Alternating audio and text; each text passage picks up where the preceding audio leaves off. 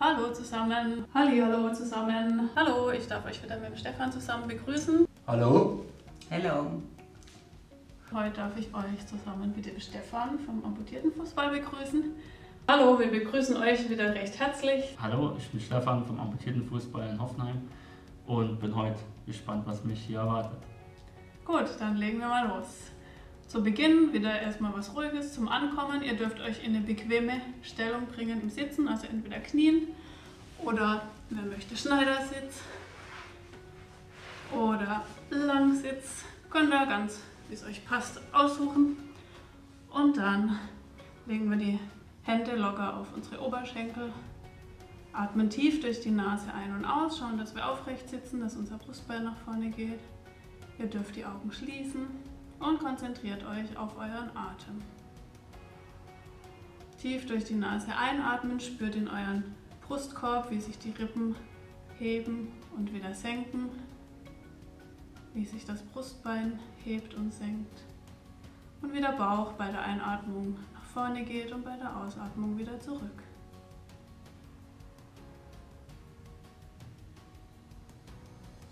Lasst alle Gedanken, die euch jetzt in den Kopf kommen, vorbeiziehen wie Wolken, haltet nirgends fest, sondern kommt im Hier und Jetzt an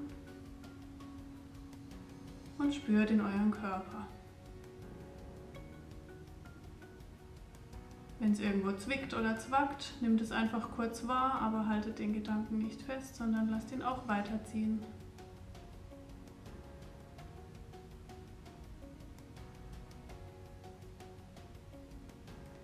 Stellt euch vor, als würde euch jemand hier mit einem Faden in die Aufrichtung ziehen. Die Schultern sind entspannt und der Atem fließt.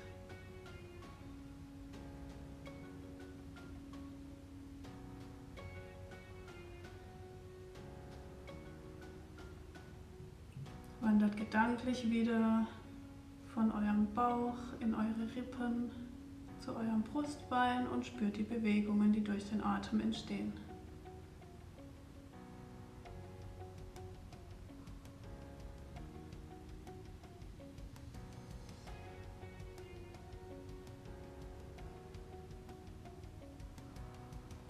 Dann atmet noch zweimal tief ein und aus.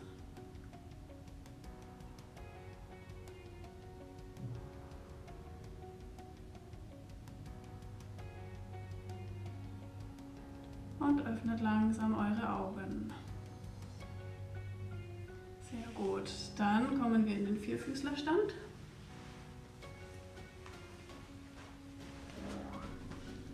Die Hände sind unter unseren Schultern eingerichtet. Die Füße liegen flach am Boden. Und mit der Einatmung machen wir ein Hohlkreuz und nehmen den Kopf in den Nacken. Und mit der Ausatmung machen wir einen Katzenbuckel und schauen zu unserem Bauchnabel. Mit der Einatmung wieder Hohlkreuz, Kopf in den Nacken. Mit der Ausatmung Katzenbuckel und zum Bauchnabel schauen. Das dürft ihr alle in eurem eigenen Atemrhythmus machen und spürt die Beweglichkeit eurer Wirbelsäule.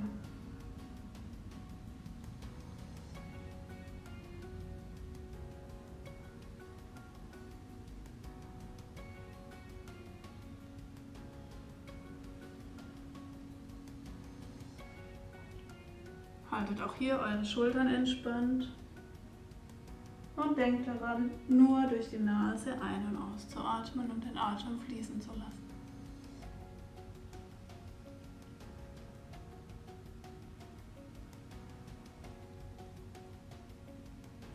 Dreimal.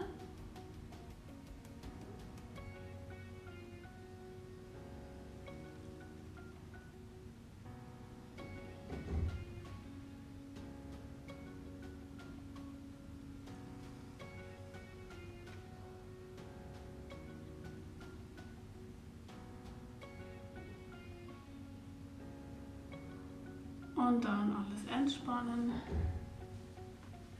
Und dann dürft ihr die Prothese anziehen.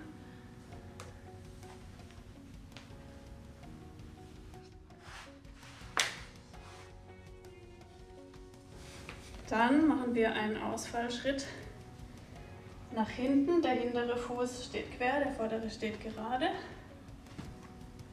Wir beugen das vordere Knie, heben die vordere Hand und die hintere Hand an, kommen in die Kriegerposition. Wer kann, geht noch ein bisschen mehr ins Knie vorne. Und wir atmen wieder gleichmäßig. Achten darauf, dass der hintere Arm ungefähr so hoch ist wie der vordere. Und wieder durch die Nase ein- und ausatmen.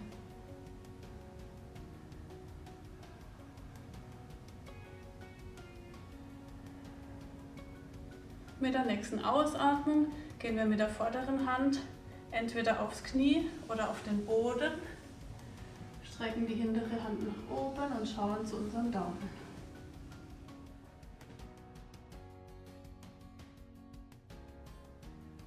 Und wir atmen wieder gleichmäßig durch die Nase ein und aus und halten das Ganze nochmal drei Atemzüge.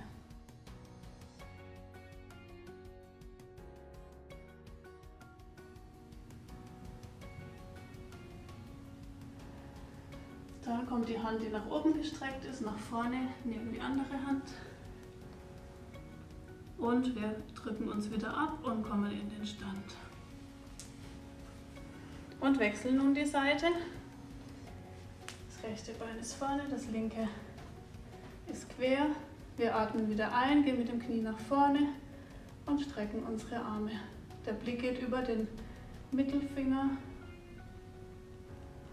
und wir atmen. Vorderes Knie ist gebeugt, so weit wie es geht. Zwei, ein.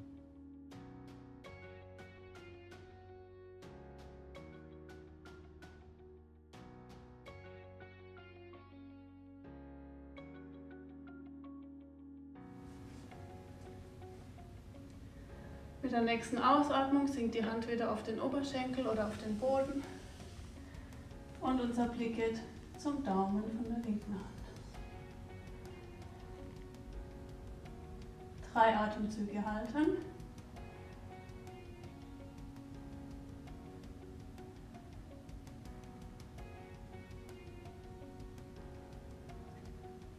Und die Hand, die nach oben gestreckt ist, kommt zur anderen Hand. Wir drücken uns wieder ab, kommen in den Stand und wechseln nochmal die Seite.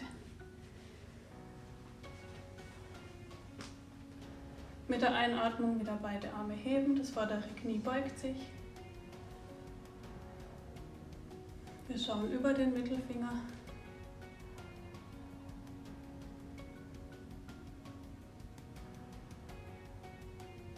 Und mit der nächsten Ausatmung geht die Hand wieder auf den Oberschenkel oder zum Boden.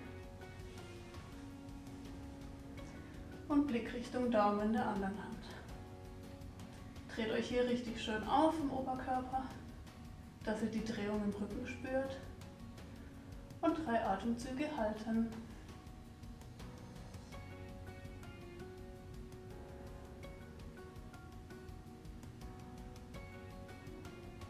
Mit der nächsten Ausatmung senkt sich die Hand nach unten. Wir kommen in den Stand und wechseln nochmal die Seite.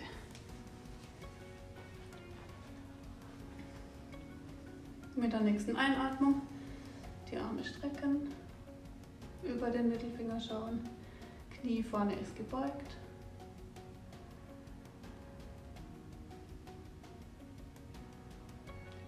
Mit der nächsten Ausatmung geht unsere Hand auf den Oberschenkel oder Boden neben den Fuß und wir schauen zu unserem Daumen.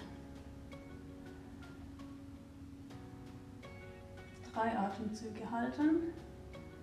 Die Drehung im Rücken spüren, vorderes Knie noch weit beugen, wenn möglich.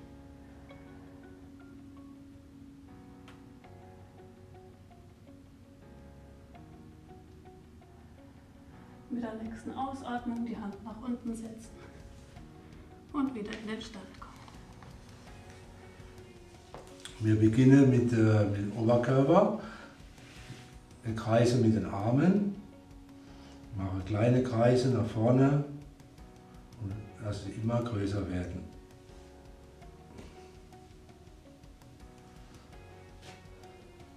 Achte darauf, dass ihr schön langsam und groß und weit ausholt. Das Ganze dann rückwärts und immer kleiner werden.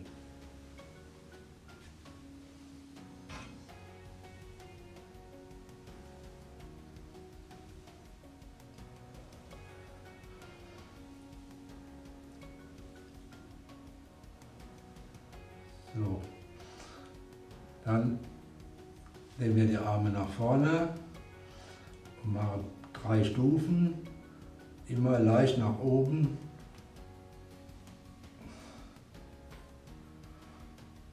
Das Ganze zehnmal. Da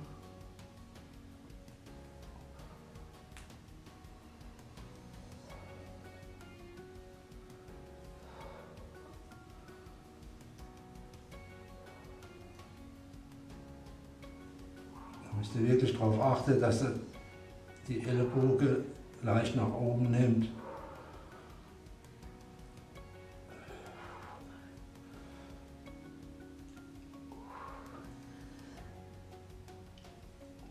Okay. Dann Ah, this one. Heute im Sitzen und mit zwei Bällen. Am besten nimmt ihr da diese Softbälle, die man auch gut zusammendrücken kann. Und genauso fangen wir auch gleich an. Die Ellenbogen sind angebeugt, liegen am Oberkörper an, Handflächen zeigen zur Decke und ihr dürft abwechselnd rechts, links mal den Ball zusammendrücken, so fest wie es geht. Ihr sitzt aufrecht, euer Brustbein zeigt nach vorne, die Schultern sind entspannt und ihr atmet gleichmäßig ein und aus.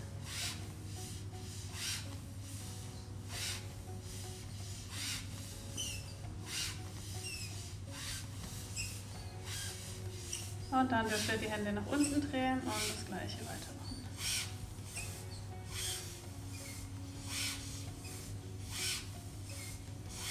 Und etwas schneller.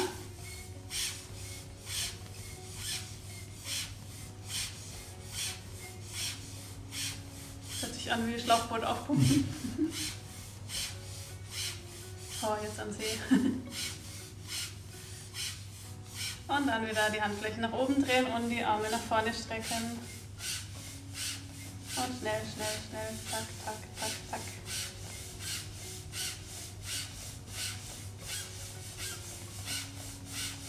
Und nach unten drehen.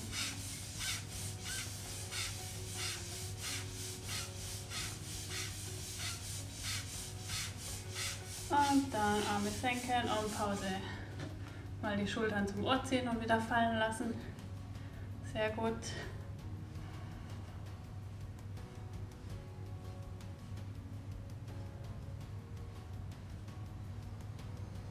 Und mal die Schultern nach hinten kreisen.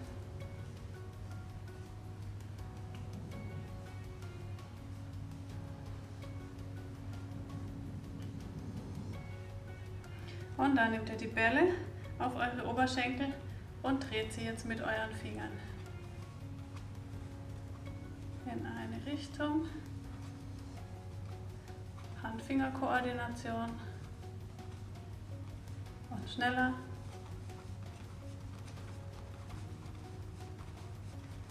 Und Richtung wechseln.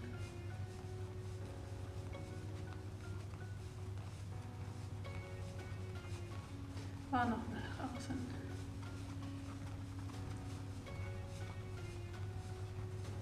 Und nochmal Richtung wechseln.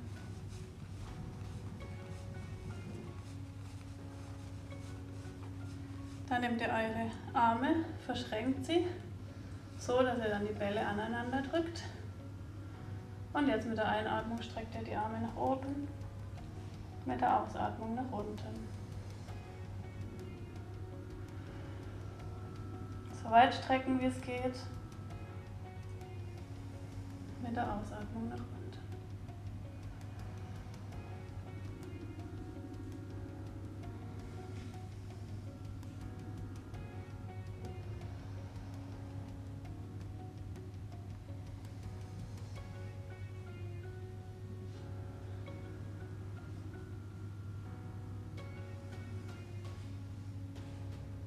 Zweimal.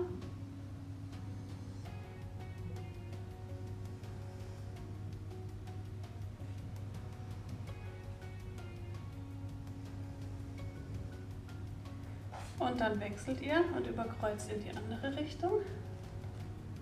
Und das gleiche nochmal. Mit der Einatmung nach oben strecken, mit der Ausatmung nach unten.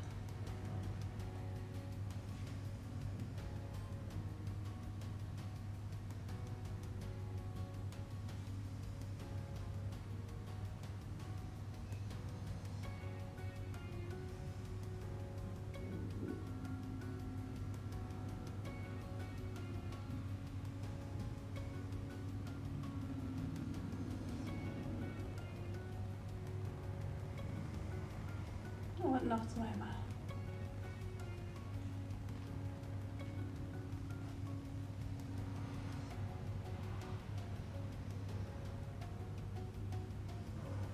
Und dann auflösen, kurz entspannen, die Schultern wieder zum Ohr ziehen und fallen lassen.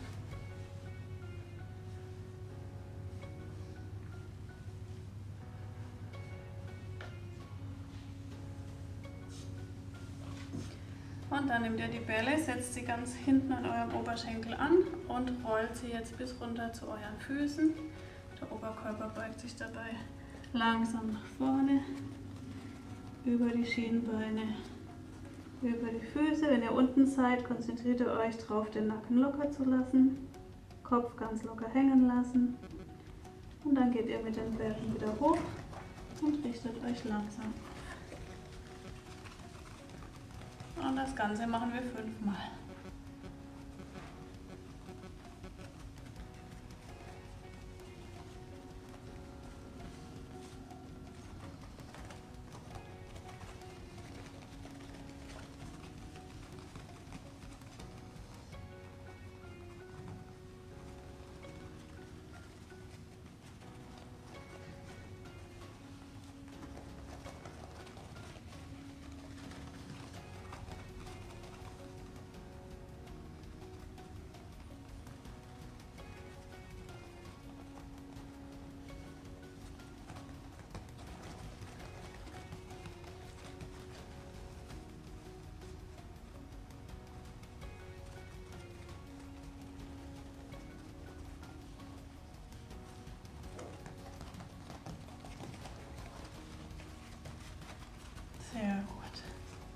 Dann geht ein Ball wieder zwischen die Knie, die Füße gehen ganz zusammen und wir versuchen den Ball um unsere Füße zu rollen.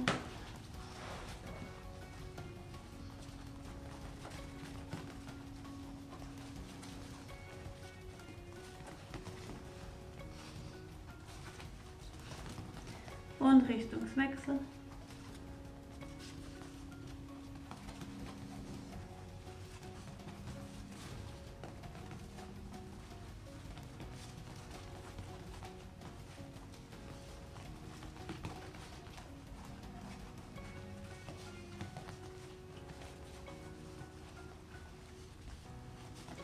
Und wir bleiben so und versuchen jetzt den Ball hinter unserem Rücken und unter unseren Beinen durchzugeben. Kopf ist entspannt.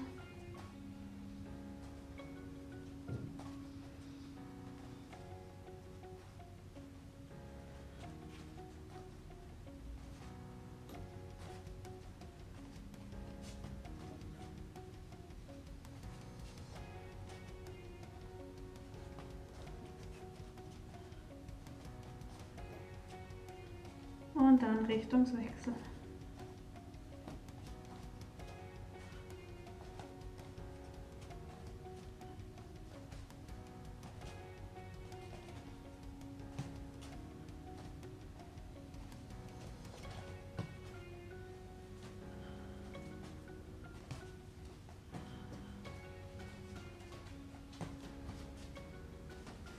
Dann richten wir uns nochmal auf. Ziehen nochmal die Schultern zum Ohr, lassen sie wieder fallen. Und kreisen sie nochmal nach hinten.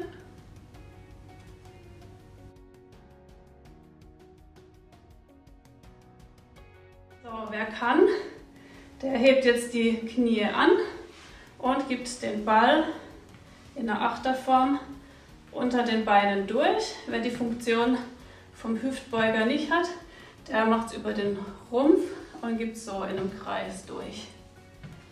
Jeder wie er kann. Achte darauf, dass er schön gerade sitzen bleibt.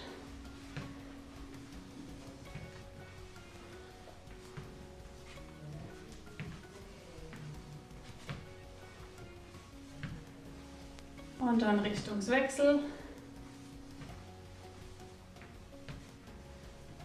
Und auch die, die so machen, machen einen Richtungswechsel. Auch hier achtet ihr auf den geraden Rücken, auf die Atmung.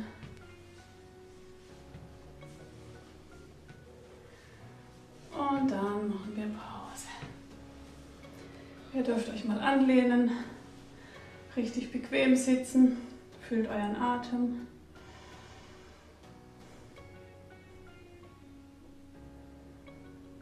Und dann machen wir das Ganze noch eine Runde. Wieder im Achter oder im Kreis, wer die Beine nicht anheben kann.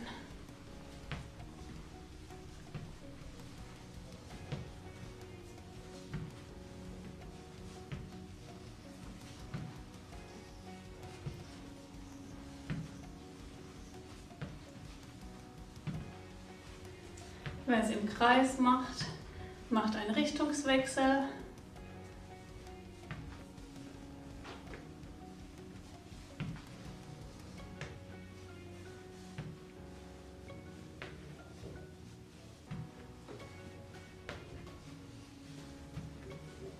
Und dann Pause. Mal tief durchatmen. Arme, Schultern nochmal lockern, Nacken lockern. Gut. Dann dürft ihr den Ball zwischen eure Knie klemmen und mal ganz fest zusammendrücken. Halten und langsam lösen, ohne dass der Ball runterfällt. Und jetzt könnt ihr die Fußspitzen noch mit hochziehen, zusammendrücken, halten. Und langsam wieder lösen so weit lösen, dass die Muskeln entspannen können, aber der Ball trotzdem nicht runterfällt. Und nochmal, Fußzehen hoch, Ball zusammendrücken und halten. So fest wie es geht. Und wieder ganz langsam lösen, ohne dass der Ball rausfällt. Und wieder zusammendrücken. Fußzehen hoch und drücken, drücken, drücken, drücken.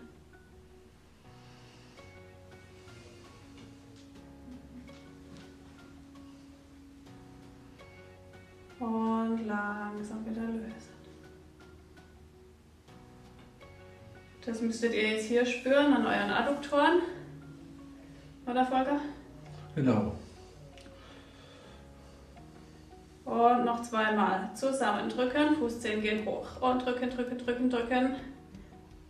Atmen, aufrecht sitzen. Langsam wieder lösen.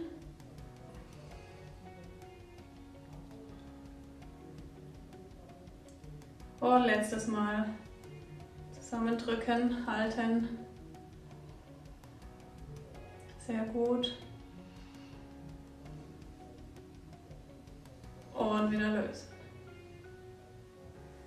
Dann nehmt ihr den Ball wieder in eure Hände.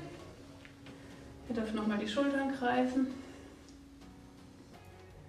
Wer kann, darf auch die Beine ausschütteln.